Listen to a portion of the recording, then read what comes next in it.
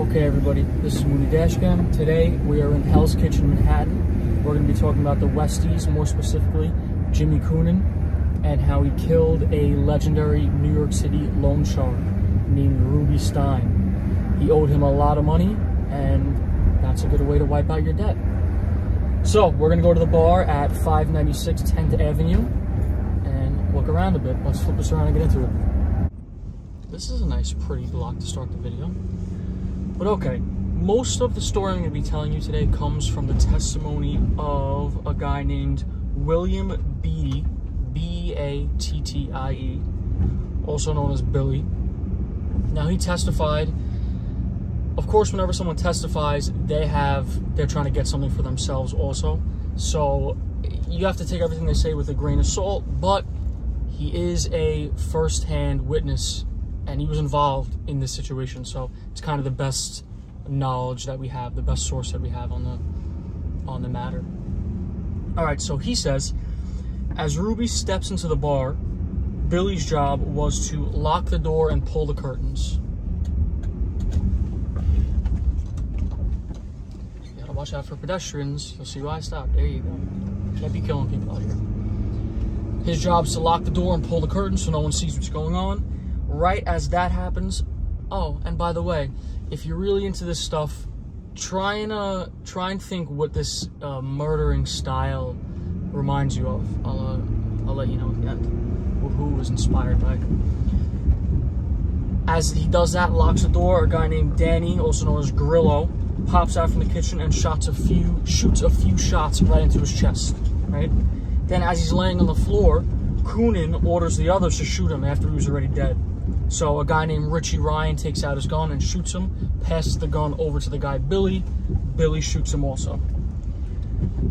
They lay him under uh, on plastic sheets at this point, and they're undressing him. As they're taking off his socks and shoes, a thousand dollars falls out. So they all whack up a thousand dollars between the, the, the, couple of them that were there, uh, and uh, split it up between them. Then he gets pulled to the back of the bar. Now, this is where the story gets a little. There's two different ways that the story is told. Some people say that he was dismembered in the back of the bar. This guy says that he was actually there. And then other people say that he was dismembered in the bathroom. More, I've heard more that he was dismembered in the bathroom, but this guy was there, so I don't know. As he's being dismembered, the guy Billy looks away. He doesn't want to see him being dismembered. And one of the other guys says, Haven't you got the stomach for it? Kind of like making fun of him a little bit, like, Well, what? You don't have the guts to, to look at what's going on? And he replies with, in front of the courtroom, he, he tells us in the courtroom, he replies with, That's not my bag. I'll kill anybody, but I'm not cutting into them. It left the courtroom in complete silence. And one of the one of the um, court officers called lunch break to try and break the tension. And uh, they said the jurors were walking out like nervously smiling. They didn't know how to act after he said that.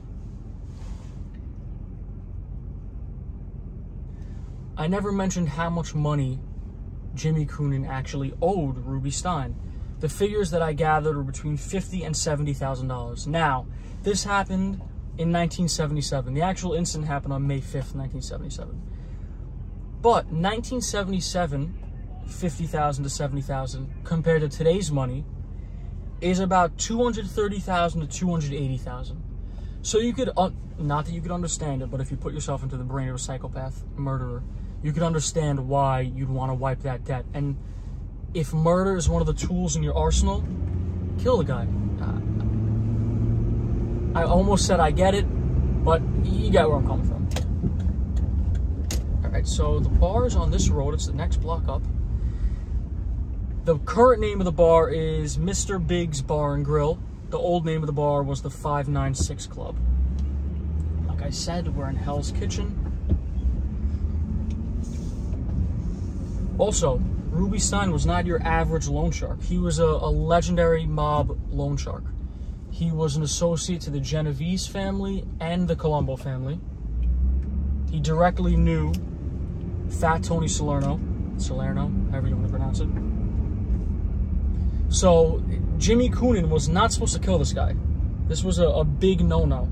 And they covered it up for as long as they possibly could. All right, this corner right here on the right is where the bar is. And will I be able to park right in front? Yes, I will. Look at that.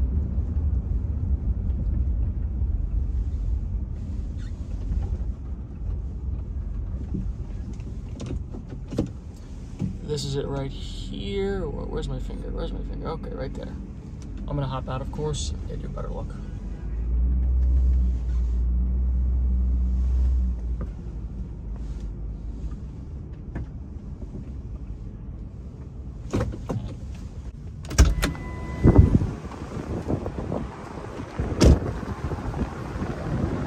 All right.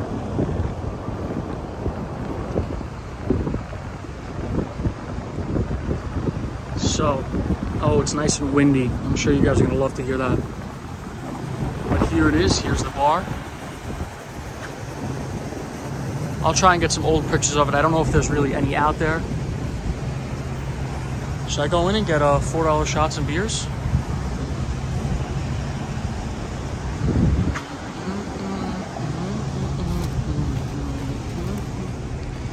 We're in like the middle of Manhattan right now. Just a block or two over is Times Square. Santa, little depressing Santa. Mr. Biggs. So right inside here, he's lured in, door shut behind him, and shot and killed and dismembered in the bathroom. I have some pictures of inside. I'm not gonna go inside and bother the people eating.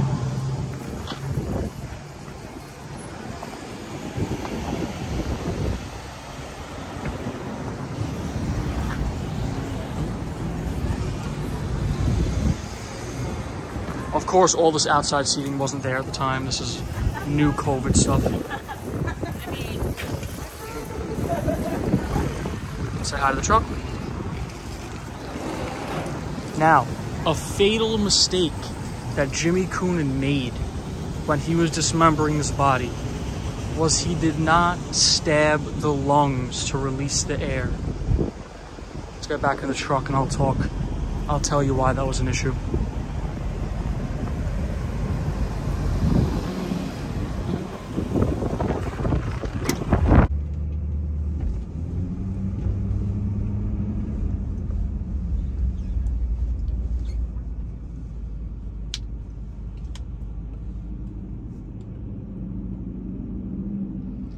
Sure some of you maybe have already put together why not stabbing the lungs could have been an issue. Jimmy liked to dump bodies in the Hudson River, which is actually straight ahead. We're going to be shooting over there right now. I don't know exactly where he would dump the bodies in, but in 1977, the waterline of New York City, coastline, whatever you want to call it, was very, very different of a place than it is now. Today, it's all done up. It used to be very industrial, very secluded, uh, all businesses, no real foot traffic and stuff. So there was a lot more spots that you could do crazy stuff like dumping a body. So he dumps the body, and days later, maybe weeks later, I'm not exactly sure on the timeline of this, the body floats up and emerges out of the sea in uh, Jamaica Bay, right by like the Rockaway Beach area. I don't exactly know where the body floated up, but if I found it, find it, I will show you exactly on the map where it floated and put up a picture. And if I didn't find it, I'll just show you where Jamaica Bay is. Right up here is the Hudson River. Oh, if you guys didn't put together what uh, killing style this is similar to, it's very similar to Roy DeMeo's patented Gemini method where you'd walk into the Gemini lounge, shoot in the back of the head, stab you in the heart, hang you upside down in the bathtub, in the shower, let your blood drain out, dismember you, and spread you across Brooklyn, most likely to uh, the Fountain Avenue dump. And Jimmy Coonan was close with Roy DeMeo. He actually got Roy DeMeo to carry out like a long, long grudge that he had with uh, Michael Spillane. Mickey Spillane, sorry.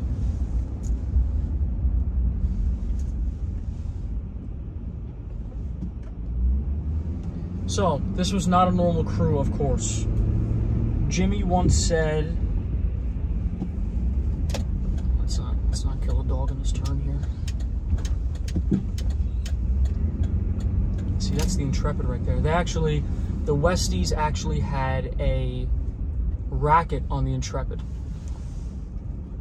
They almost made it go bankrupt because they had uh, no-show jobs on payroll there, which it sounds exactly like what it is. Just say that a guy's on the job and he gets paid like he's there and he never even shows up. And they also would uh, skim ticket prices. So they almost made the Intrepid go bankrupt, which is pretty impressive they had their fingers in almost everything. They had their fingers in the Jacob Javits Center. They would periodically rob the Jacob Javits Center when uh, they had jewelry conventions. Really, really a fun group of guys. Oh, so Coonan once said, the more bodies you had, the more monstrous you looked. So he actually liked to kill people because it gave him a crazy reputation. Which he was right. He had a crazy reputation. There are stories of them rolling a person's head back and forth on a bar, on that bar. Uh, they said behind the bar they also kept jars or bags of their victims' fingers to show people, to uh, show them that they're serious. Which, if it was me, that would get the message across pretty well. They even once killed a guy that they said they respected and liked so they kept his head around for a little while. They put it on a bar top and they would toast to him when they drank. They even actually put his favorite brand of cigarette in his lips and lit the cigarette. You know, the kind of stuff you do to someone you really respect.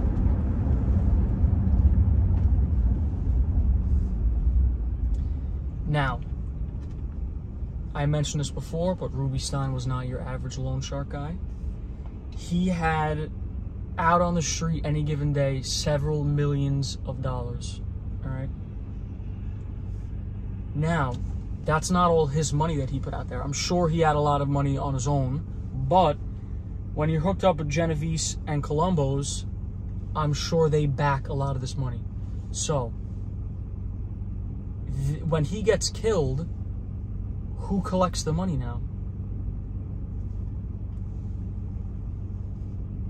James Coonan, Jimmy Coonan, got the Black Book. The very expensive, very sought after Black Book of Ruby Stein. They said it was a hit to the mob of about $4 million. Coincidentally, right after they get this Black Book, everyone in Jimmy's whole crew gets rich because they took over all the loans and they took over all the everything that is involved in being a loan shark.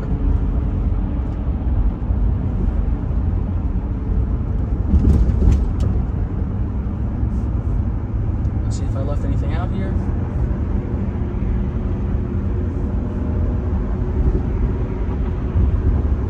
The way they confirmed that it was his torso was he recently had medical a medical problem and then when they got his torso back, they x-rayed the torso and compared it to the x-rays of when he had medical the medical problem.